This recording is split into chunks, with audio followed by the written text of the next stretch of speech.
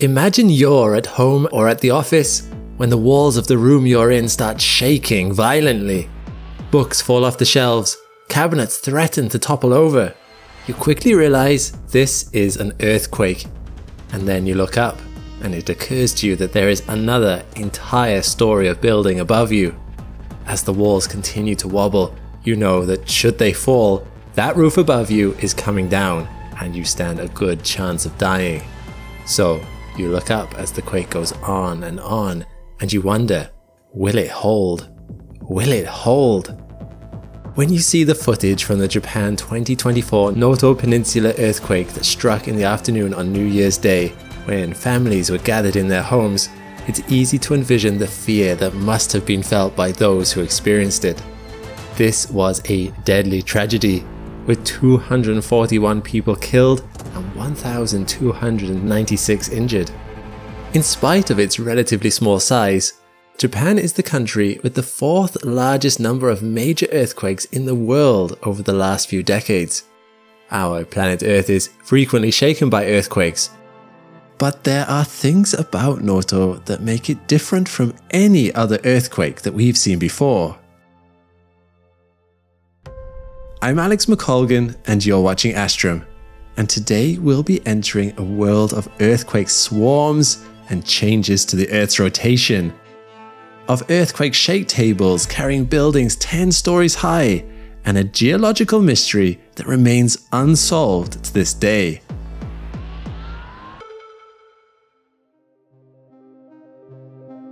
It's no wonder that Japan is regularly impacted by earthquakes. Japan sits on the western edge of the Ring of Fire, one of the most tectonically active places on Earth. These vast plates of rock and soil constantly and inexorably shift over the course of millions of years, sometimes pulling apart and sometimes moving together. To further complicate matters, Japan sits along the edge of multiple smaller plates at once. The Pacific Plate pushes west and subducts or slides underneath the Philippine Sea Plate and the Okhotsk Plate but the Amurian plate also pushes up against the Okhotsk plate, while the Philippine plate subducts underneath the Amurian plate and the smaller Okinawa plate at the same time. It's a complex geological wrestling match, one which led to the formation of the islands of Japan in the first place, but one that also causes a lot of friction and tension beneath the surface. What happens when the forces at play become too much for the friction that holds it back and things slip? That's when you get earthquakes. However, in the case of the Japan January 2024 earthquake that struck in the Noto Peninsula, it caught locals by surprise. Why? Because Noto is not actually on one of the major fault lines, and scientists are not yet quite sure why earthquakes are even happening there. If you map out the location of earthquakes by depth and location over the last 25 years, you can see that they congregate mostly on the eastern side of Japan, where the Pacific plate subducts under the Okhotsk plate. You can even see how earthquakes that are further west are also triggered deeper beneath the ground, representing the fact that the subducting plate has moved further underground with the additional distance. But rather than striking on the eastern side of the island, the January 2024 earthquake hit Noto to the west. There are other peculiarities.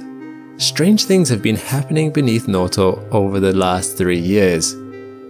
Since 2020, Noto has been experiencing tens of thousands of small earthquakes in a geological event known as an earthquake swarm. But counterintuitively, this consistent rumbling is normally not something to worry about, as several small shakes are better than one big one and earthquake swarms generally die out quietly rather than producing large earthquakes. Noto's earthquake swarm bucked the scientific models, lasting too long and producing the exceptionally powerful January 2024 earthquake, and scientists do not really know why.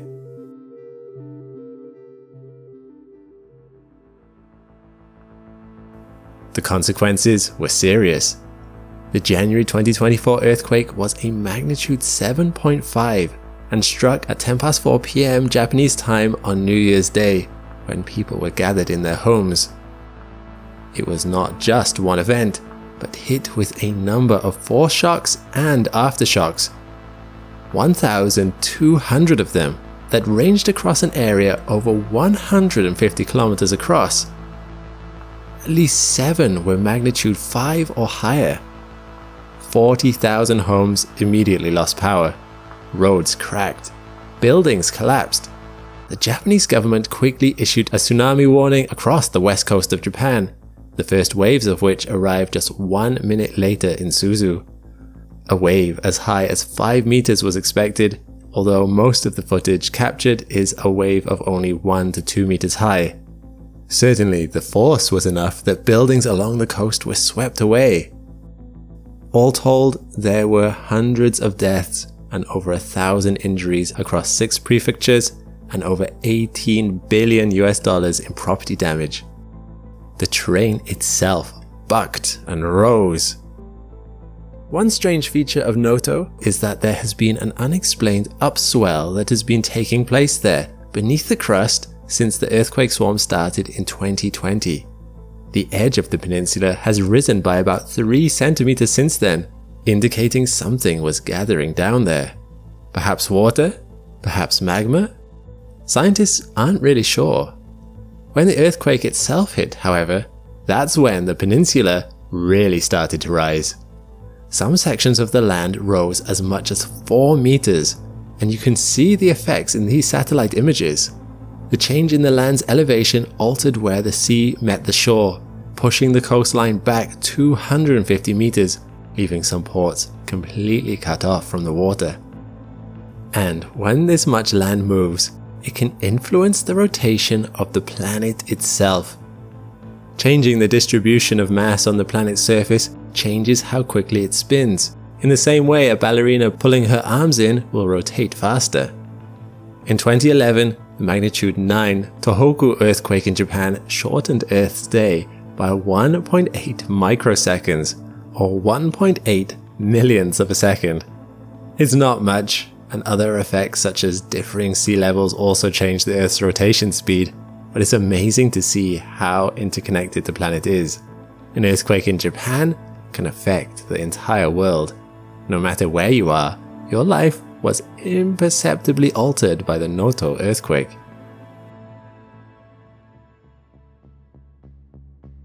With all of this, it is no wonder that scientists across the globe are working hard to understand the causes of earthquakes.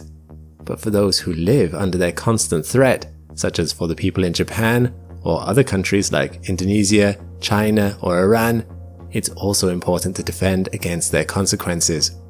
So in an effort to improve their architectural design to make them more earthquake resistant, Japan's National Research Institute for Earth Science and Disaster Resilience has taken steps such as developing the world's largest earthquake simulator, eDefense. This 20 to 15 meter shake table supports buildings as tall as 10 stories and can use real life data to simulate the most devastating earthquakes Japan has ever experienced. By testing different designs in the different types of earthquake scenarios, architects have been able to design braces, beams, and metal joints that reinforce traditional Japanese houses, making them more earthquake resistant. It can be the difference between a building staying upright or collapsing entirely. Interestingly, NASA's space program indirectly helped with creating earthquake resistant buildings in Japan. Consider the Tokyo Skytree, the world's tallest tower at 634 meters, a place I saw with my own eyes once when I was visiting Japan. Given the risk of earthquakes in Tokyo, it was vital that engineers designed a building that could withstand large shakes. They did so using a central 360 meter tall concrete column that sits on four massive rubber bearings which attaches to the building around it using fluid dampeners developed during the NASA Apollo program. When an earthquake strikes, these fluid dampeners cause the central column to sway at a different rate to the exoskeleton of the building around it. The different rhythms of motion counteract each other, reducing the motion in the building overall. Incredibly, these effects can reduce the force of earthquakes by up to 50%.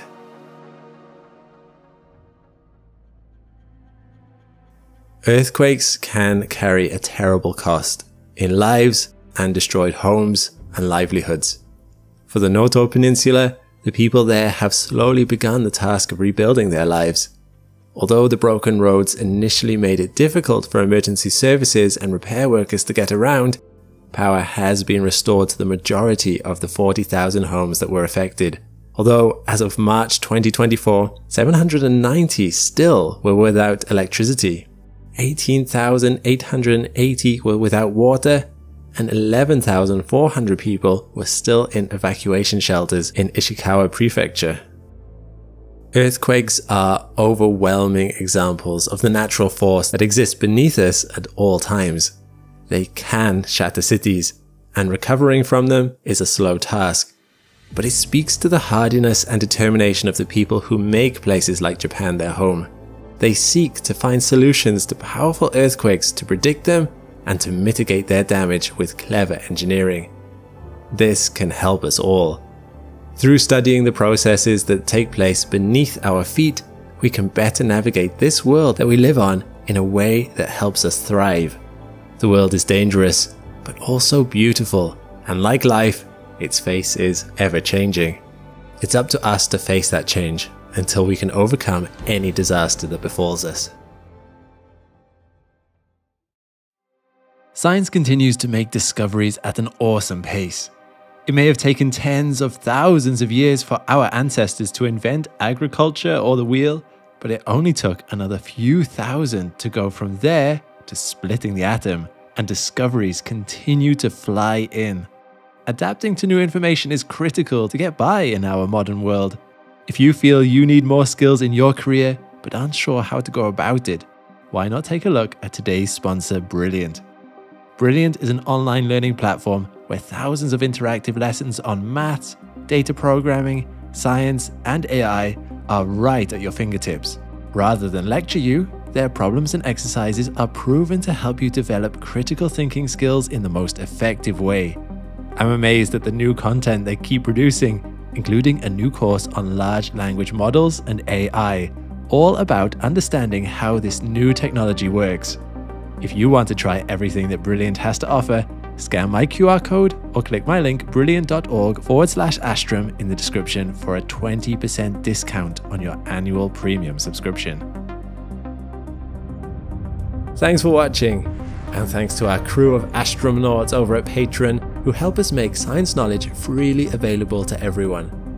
Chasing the algorithm can be hit and miss sometimes, so your contributions help us keep making the content we love.